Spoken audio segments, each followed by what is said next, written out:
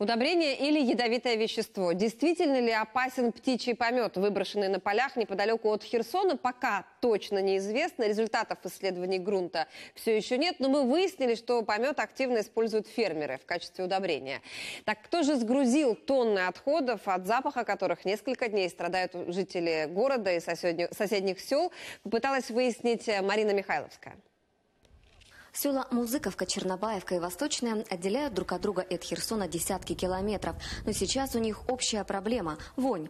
Люди жалуются который день подряд. Источник – куча птичьего помета. Почему они э, просто не погашенный помет э, просто высыпали, это ну, для меня загадка. Э, никакой э, плодородной, ну, плодородной почвы, да, он ничего не даст плодородия.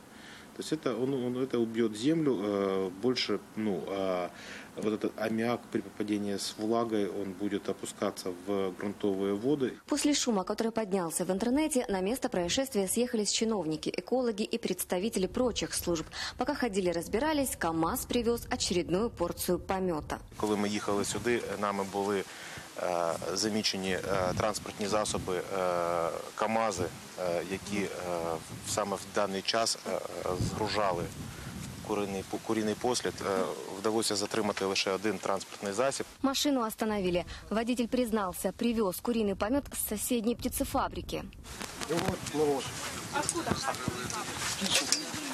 Птицефабрика Чернобаевская специализируется на производстве куриных яиц. Это филиал агрохолдинга «Авангард» в Херсонской области. Сразу после скандала на сайте холдинга появилось опровержение, мол, птицефабрика не имеет никакого отношения к выгруженным кучам помета и соблюдает закон о защите окружающей среды.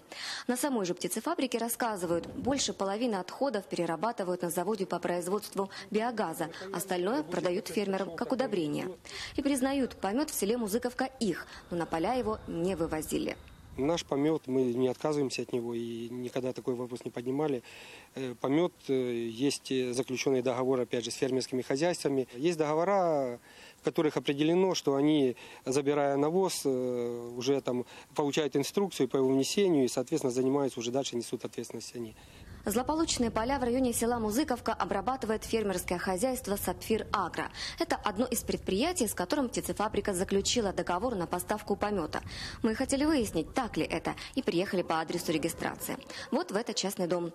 Но к нам никто не вышел. В Музыковском сельсовете ситуацию на камеру комментировать отказались. Лишь сообщили, фермеры действительно пользуются народным способом удобрения почвы. Насколько он безопасен, теперь выясняют экологи и Господребслужба. Пока получены результаты исследований воздуха. Их предоставил местный гидрометцентр.